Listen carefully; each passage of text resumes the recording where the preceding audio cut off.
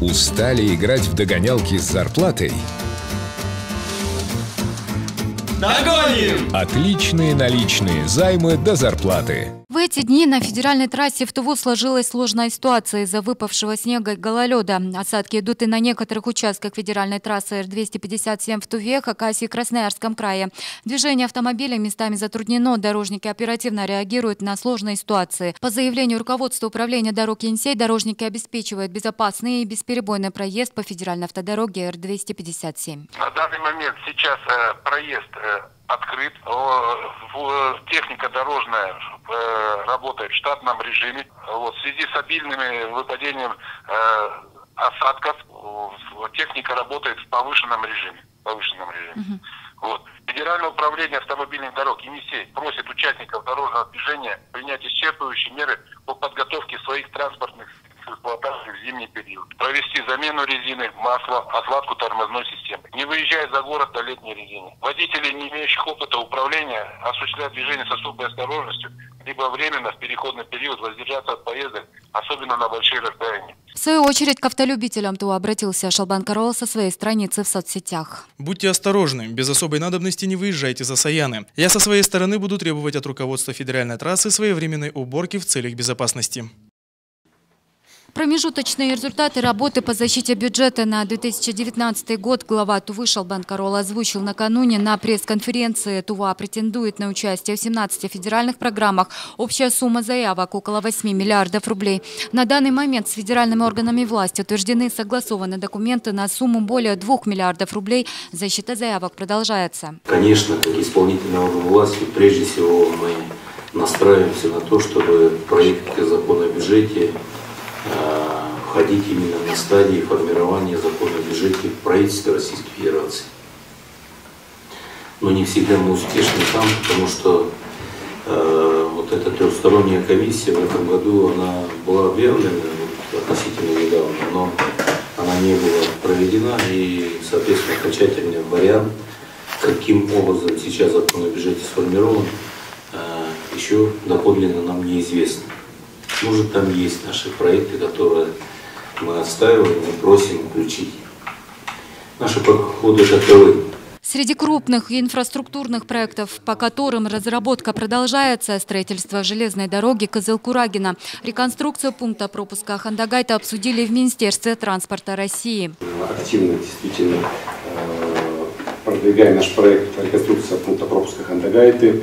Мы встретились э, специалистами Минтранса, э, специалистами, те, которые ведут э, пункт пропуска. Мы согласовали э, дорожную карту непосредственно по реконструкции пункта пропуска и договорились создать совместную рабочую группу. Кстати, по поводу строительства ЖД, также до совещания полпред дал поручение представить представителей, ну, представителей регионов, которые ведут рабочую группу по данному проекту. Отметим, в ходе поездки в Москву глава Тувы провел рабочую встречу с министром природных ресурсов и экологии России Дмитрием Кобылкиным. В частности, обсуждались различные варианты участия Тувы в национальном проекте «Экология». Из того, что сейчас уже реально можем доложить на стадии уже протокольного решения, это по федеральному агентству по лесному хозяйству, значит, цифра 540, 554 миллиона рублей – значит, на организацию деятельности пяти пожарно-химических станций на территории Республики Тыва. Как вы знаете, что у нас э, лесной фонд республики это 10 миллионов 882 тысячи значит, гектаров. И это очень большая цифра, и она нуждается в постоянном оке надзора. Мы с удовольствием можем констатировать даже, что на имеющемся материально-техническом ресурсе 51-52% э, значит, пожаров мы локализуем в первые сутки и с учетом вот этого принятого решения, что будет дополнительная техника и дополнительные штатные единицы, э, мы будем приходить к более высокому показателю. Помимо работы в государственных органах власти прошла встреча с Национальным туристическим союзом, которая в свою очередь заинтересована в развитии туризма в Туве. В этом году те проекты, которые у нас попадают в рамках национального проекта, уровень софинансирования 1 на 99. То есть 1% это средства республиканского бюджета, 99% средства федерального бюджета. Ну, это касается, в частности, предпринимательства.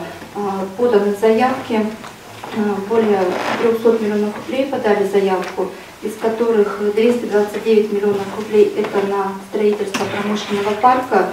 Два года мы подавали заявку, но по разным причинам отклоняли, в этом году ее приняли. Как стало известно на пресс-конференции, уже на следующей неделе появится дополнительный рейс из Кызыла в Красноярск. Таким образом, полеты будут выполняться не 3, а 4 дня в неделю. До 1 декабря Тува должна подать заявки на субсидирование авиарейсов в 2019 Департамент по недропользованию по Центрально-Сибирскому округу, Центр Сибнедра, это структурное подразделение Федерального агентства по недрам, выставил на торги две лицензии на добычу и разведку рассыпного золота в Туве с общим разовым платежом 11,4 миллионов рублей. Следует из материалов сайта для размещения информации о проведении торгов. В свою очередь, первый золотоносный участок находится в реке Состыхем, расположенная в пределах Амыла Состыхемского золотоносного района восточных отрогах запада западных Саян.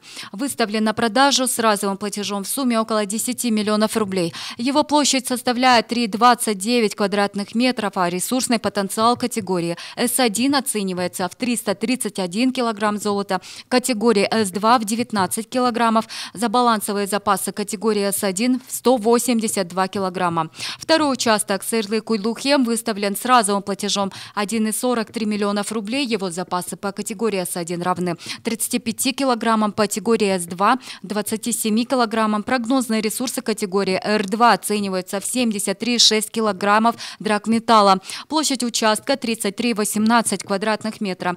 Лицензия на первый участок будет передана в пользование на 20 лет, второго на 25. Торги назначены на 5 декабря. Приемок заявок завершится 15 ноября. И о курсах валют доллар стоит 65 рублей 65 копеек, евро 75 рублей 02 копеек.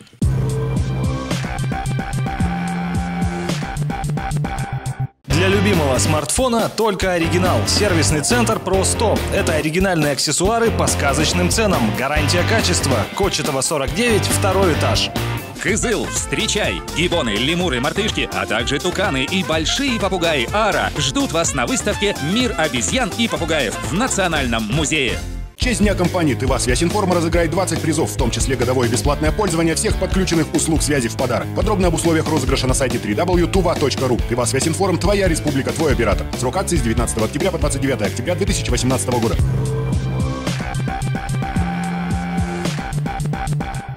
России 20 октября вступили в силу новые правила восстановления водительских прав. Так, теперь автомобилист может получить утраченное удостоверение только после оплаты всех выписанных штрафов. Оплата должна быть подтверждена документальная информация об этом должна присутствовать в государственной информационной системе. Для восстановления документа также необходимо будет пересдать экзамен на знание ПДД. Кроме того, водители, лишенные прав за езду, в пьяном виде должны будут пройти медосвидетельствование. Отмечается, что для восстановления восстановления документа необходимо будет подать заявление не позже, чем за 30 дней до окончания срока лишения. Изменения также касаются того, что правила возврата водительских удостоверений были приведены в соответствие с нормами Кодекса Российской Федерации об административных правонарушениях. То есть общий объем требований, то есть это проверка знания а, правил дорожного движения, а также уплата административных штрафов, он остается прежним. А, ну, появились новые такие нюансы. В частности, указано, что проверка э, знания правил дорожного движения будет производиться только в том субъекте, которым э, осуществляется исполнение постановления о назначении административного наказания. Да, к 11 часам Минздрав поедем. 31-летний Аяс Андар второй год руководит Республиканским центром переливания крови. Рабочий день в кабинете у главного врача начинается с планерки и обсуждения главных вопросов текущего дня. До 20 числа мы должны это все удостоверить. Если ноября? опоздаем, нет, до 20 э, октября. С приходом нового руководителя в медучреждение пришли и новые технологии. К примеру, онлайн-система с веб-камерами на регистратуре и электронная база данных почти на нет свела бумажную работу. Соответственно, очередей стало меньше. Как говорит главный бухгалтер Центра переливания крови Салба Кулер, новая кровь, влившаяся в коллектив, всегда имеет свои плюсы. Энергичный, Э, молодой врач у нас, главный врач. Год уже вместе работаем, так-то отношения у нас э, хорошие, нормальные отношения. Э, а он к своим сотрудникам относится очень внимательно. Ая Сандар после окончания Московского государственного медико-стоматологического университета работал врачом-анестезиологом в перинатальном центре Тувы. Потом набирался опыта в наркологическом диспансере. Сегодня он руководит коллективом, преимущественно женским, из более 30 человек. Молодой врач на прошлой неделе подал заявку на участие во всероссийском конкурсе лидеров. Признается, что решил получить новый опыт. Просто у меня в жизни есть кредо, что человек должен э, все время учиться в течение всей жизни, э, и поэтому данный конкурс – это еще одна образовательная площадка э, для меня, и тем более с такими наставниками, ну и еще пообщаться с другими участниками конкурса. Стоит отметить, что Ая Сандар является отцом двоих замечательных дочек и главой молодой семьи. Говорит, что совмещать столько ответственных функций ему помогает его надежное плечо, его супруга. В этом вопросе э, мне супруга э, повезло, супруга меня понимает. Э, я ей так и сказал, что ответственность большая, э, коллектив это более 30 человек – и поэтому я буду много времени уделять работе, а, и, к сожалению, получается, к семье меньше времени я уделяю. Ну, жена меня а, понимает. На вопрос, кто такой лидер, молодой руководитель отвечает возвышенно и лирично. Лидер – это... Я почему-то вспоминаю сказку Данко, который сердце вырвал из груди и впереди шел и освещал путь вот в таком формате. Более прагматично о лидерстве рассуждает Вячеслав Маламда, инспектор контрольно-счетной палаты Кызыла.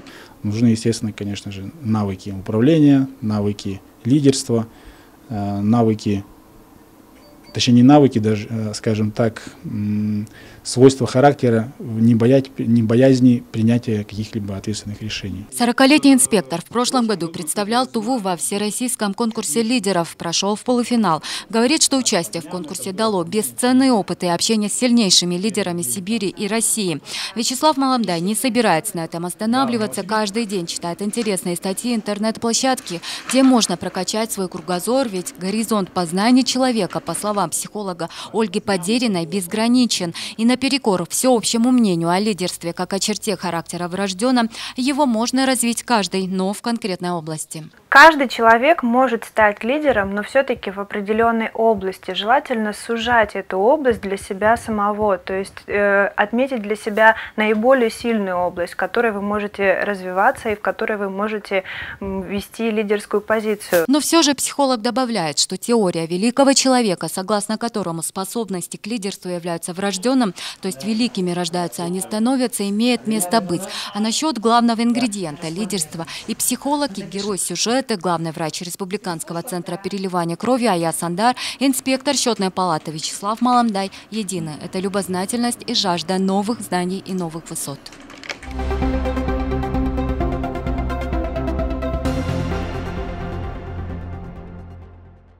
Шубы-трансформеры, трапеции, модель автоледи, элегантная шуба в пол. Здесь, на меховой выставке «Зимняя сказка», вы найдете любую шубу из натурального меха. Кстати, на этот раз выставка «Зимняя сказка» открыла двери для своих покупателей в торговом доме ЦУМ по улице Тувинских добровольцев, 22. Норка, мутон, енот, кролик Рекс. Искупаться волнующей нервности меха может каждая модница. Самое главное – правильно подобрать именно свою шубку. Рыжеволосым красоткам подойдут все оттенки классической коричневой норки, а прекрасные блондинки и жгучие брюнетки будут неотразимы в белой норке. Не бойтесь ярких решений. Качество меховых изделий, как всегда, на высоте.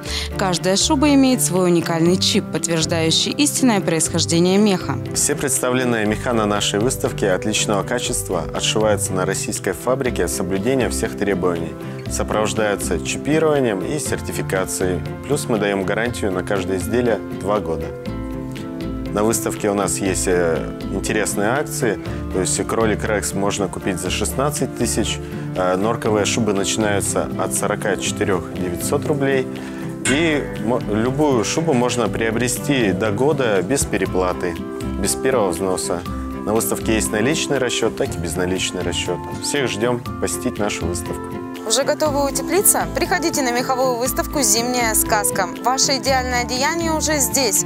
Торговый дом ЦУМ, улица Тувинских добровольцев, 22. С 22 по 28 октября включительно.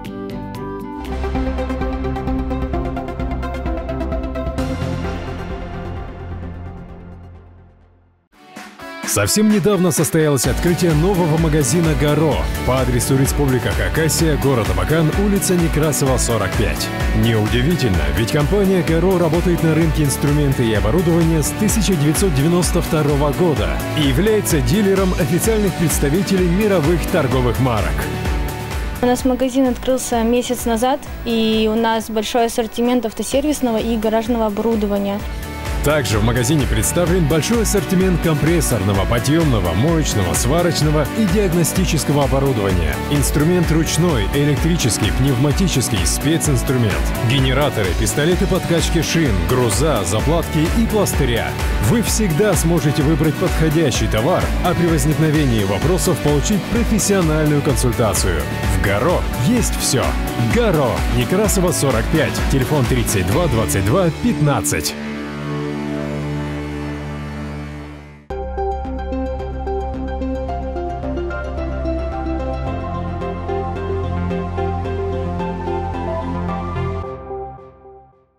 Авто орнунга чээлелер ар өртекке инелел түрген полгаш ажыктык орулга справказы полгаш чажыт комиссиялар чока тошу салдан үч ийчүз тоз чедиму По республике ожидается переменная облачность, местами небольшой умеренный дождь, мокрый снег. В Кызыле переменная облачность, дождь со снегом, усиление северо-западного ветра до 6-8 метров в секунду. Температура воздуха ночью минус 1, минус 3 днем от 0 до плюс 3 градусов тепла.